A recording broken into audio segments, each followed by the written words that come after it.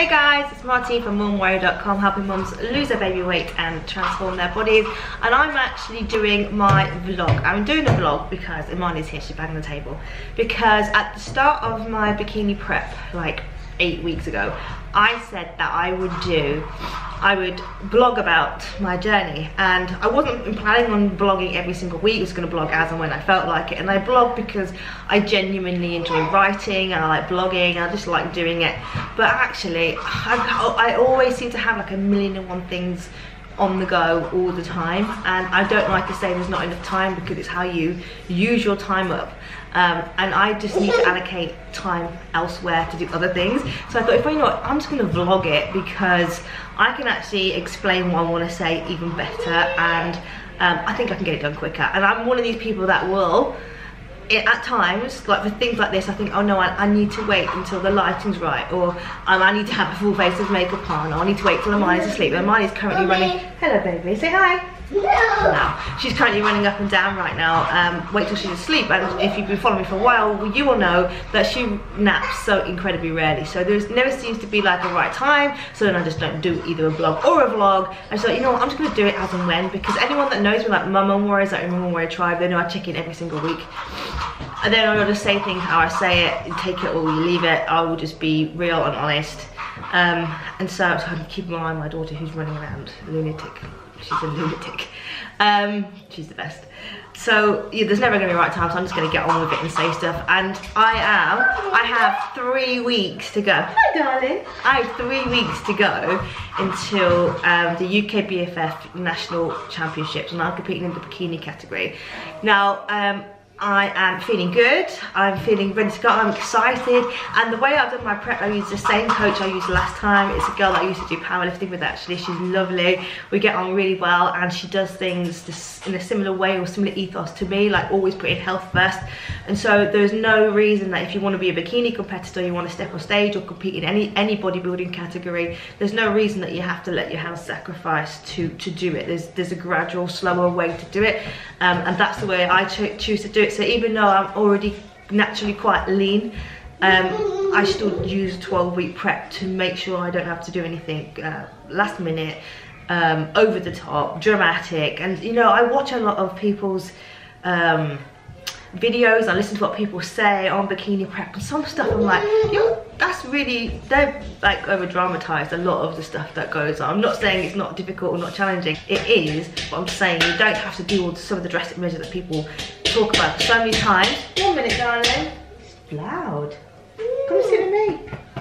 There are so many times that people will say, oh, do you have to do like eat no food on the last week? Or do you have to like drink no water on the day? I'm like, no, not for, not for my, not for me anyway, for my class and for how my body reacts. I don't need to do drastic things like that. Everybody's prep will be different. So um, or one thing I want to say is if you're following anybody who does anything like this, don't copy their macros. You should never just have a generic macro plan. It should always be tailored towards you. Don't just follow the calories on. Don't follow the training schedule. You need to follow something that's going to fit with your goals. So I'm just going to say, say that right now. So I've got my um, notes here because um, I'm three weeks to go. Everything's going well, feeling good, feeling ready to go. I'm excited about it. Um, I would say that I have started to get scatterbrain and that is when I'm, I'm not doing anything drastic as I said, but I am starting to feel a little bit mentally and physically exhausted just because I am someone that completely consumes myself with something when I'm going into something. So for the last um, eight, no, nine, ten weeks, eight weeks. The last eight weeks I have been, nine weeks, let's get it right. Let, nine weeks I have been like completely consumed by this. Uh, I just think about it all the time. I'm tracking everything, I'm doing everything as I should do, all my training sessions. Yeah, we hit your hand. Sure. Come sit with me? Yeah. No. And I, um, so I'm thinking about it all the time and you know, I work, I have online clients, I have offline clients. Um, I have my daughter who keeps me very busy and she stays with me 98% of the time. So um, I feel like my brain is just ready to do the show and my body is just ready to do the show and um, that's why I'm starting to get a little bit tired.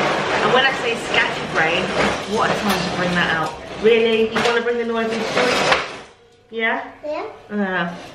Uh, um, it's, it's just like towards the end of your prep, it's the same that happened last prep, is you start to feel uh, tired is, is one thing. I'm not really lacking energy. My energy levels are certainly different. I still have energy, but I just feel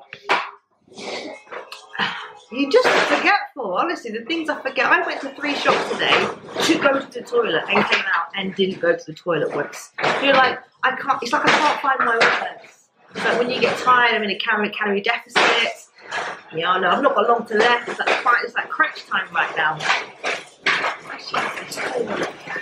Imani, you can't you play with something else? Can you come sit on my knee? Come say hello. Come on, come say hello. Oh, come on, please.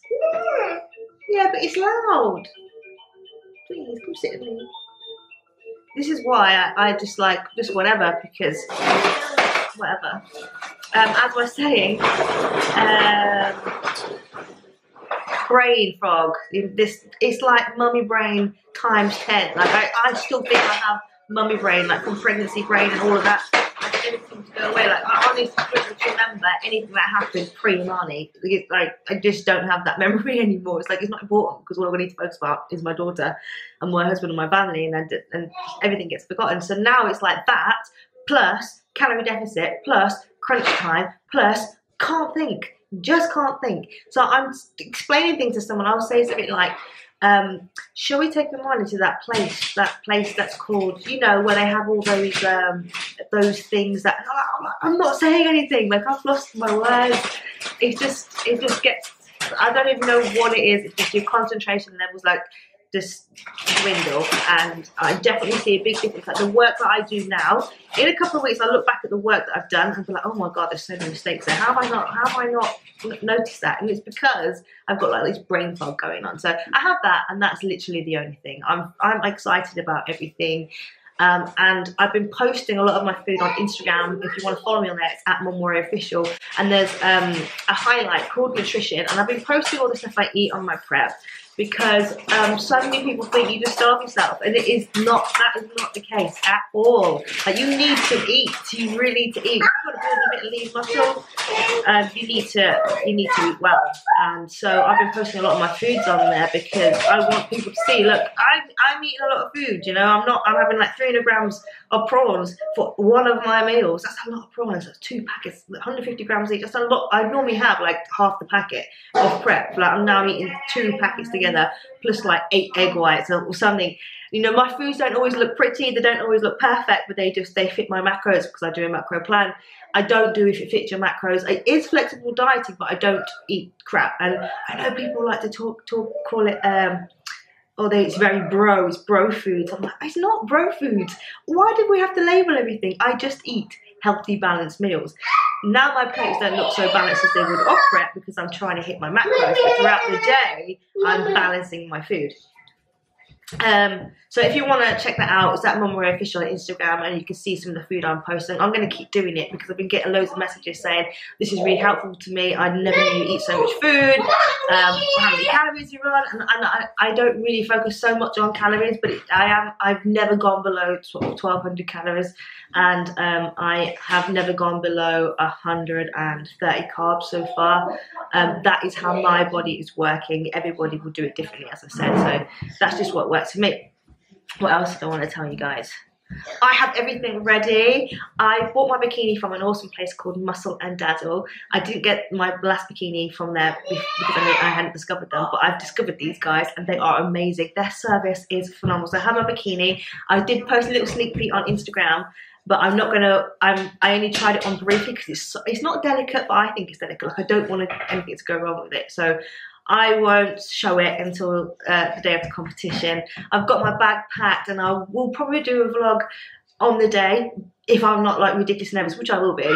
Um, so I'll do as much as I can on the day, but I will show you what's in my bag, which is a phenomenal stuff. And Muscle and Dazzle have this amazing, all comprehensive bikini prep pack list, which is everything that you need to take with you, which is a lot. And I am not a light traveler as it is. So I've literally gone for everything on the list and make sure I've got it. Even if I think I'm never going to use that, I'm packing it. It's going in the bag.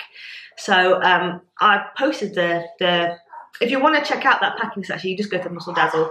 I think it's muscledazzle.com or you just Google it and you'll find it. But yeah, I've got that all there. Uh, there's just so much you need, there's so much you need to spend. Um, and this is my second competition. I did one, like, it's six years ago I did it in my head, I've been talking to myself, yeah, I did one a couple of years ago. Like, time flies. Six years ago is when I last did a competition. It was with the UKBFF and it was called the Stars of Tomorrow. It is a competition that you do if you've never competed before. So it's the first time you, you must be the first time you've ever stepped on stage, which it was for me. And the reason I got into it is because before that, I was powerlifting. That was what I did. And I was British champion, European champion. I came third at the World Champions World Championships, and I loved powerlifting. I still love it. I love strength sports. I love uh, heavy weights, low reps. I don't like high rep stuff, even though that's what I do now. And um, it, that was all going swimmingly, and then it injured my back, and I've actually got a bulging disc. And whilst I was recovering, I wanted to do something that I could participate in. So I love to compete and stuff. So I actually, whilst my back was recovering properly, I started competing in. Um, I started looking at this competition, and that's why I entered it. And I also injured my back through doing Ninja Warrior. I fell off a high bar in practice. Um, so I hurt my back again, and then I did this competition was I was um, trying to heal my back, so I was doing all high rep stuff and nothing that was too heavy that's going to put a strain on me or on my back. And then after that, this is where the time has just gone. After that, my goal after the competition was to make sure my back was fully healed so that I can actually wear the heels that I wanted to wear on my wedding day. That was like my goal. That's my new training goal. And so then I got married. I went on my honeymoon. I um, got pregnant. I had Imani, I breastfed her for two years, and then I was like, okay, I'm ready to to do something again. And actually, when I did the Stars of Tomorrow competition, I really enjoyed it more than anything because I actually entered it for a challenge, something different to do, something I could do whilst I was waiting for my back to recover, and I didn't realise how much I'd enjoy it. So I, I absolutely loved it. I, I placed third then. This this competition, obviously, everybody wants to place, I want to do as well as I possibly can and see where I can go from here. So I'm really looking forward to it. I can't believe it's been six years since I've done it. Um, and you know what? This time, I feel more driven now than I did before. I'm not exactly sure what the driving force is. Like back then, before I, I was married, uh, before then, I wasn't married, didn't have Imani, didn't live with my husband, I lived separately. Then we got married and moved in together, I had Imani, and like this.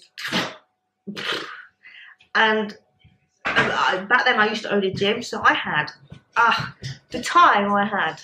I didn't. When people say you don't know how much time you've got, so you've had children, and you like, and, yet, and then you realise how much time you've had, that is so true. Like, oh, when people used to tell me I was pregnant, make sure you sleep. Why did I not listen to that? Because now my time is so minimal, but I actually think it helps me because because I know I have limited time. There is no time for me to faff about at all. So I will go to the gym. If I've got an hour, I am busting my gut for an hour because I've got to get back. I've got get Imani. If I'm working out at home, which is where I do most of my workouts actually, with Imani around, I will just just get on with it. It will be interrupted. It won't be like a regular session. It will be frustrating at times, but I will just do it. Like my my time has to be more structured now than ever because I have I don't have less of it. More of it is used up. So before I, had, I knew I had no idea how good I had it. I was living on my own. I could prep my meals really easily. I didn't have to think about anyone or anything else. I, I owned and worked at a gym. I could just oh, so much easier then. But now I feel like I have extra drive. I want to do it for myself actually more than anything because I really, really enjoy it. And this is something like I don't have the busiest social life. I've never been like that. I've always been into my books, into nutrition and learning and education, all that kind of stuff. And I'm quite happy to be at home with a glass of wine, chilling. Um, so my social life never been crazy hectic or anything like that, but now my social life is busy with children's things. So actually, I, I, don't have the best adult social life, but I do do a lot with my daughter, and because I have her uh, for most of the time, she comes with me everywhere I go. So my social life is a little bit different. It's often at uh, what are they called, messy play, you know, um, soft play areas and stuff like that. But um, I just feel like I've got an, an extra drive. I'm doing it for me because I enjoy it, but I also want to make my daughter proud. It, I, I find it funny that thinking about when I step on stage this time, it's been six years. Two and a half years ago, she was in my stomach still, and now she's going to be in the audience clapping and cheering for me. So that really motivates me to want to do well, and I just I just really, really enjoy it, and I and, and I actually feel like because I don't have such a like a flamboyant social life, that this is almost like a social event for me. It's oh. like I get to dress up, I get to do my hair and makeup, I get to have my nails done. It's almost like a spa day and a night down, a night out on the town, but I'm not doing all the naughty things like drinking, just to clarify.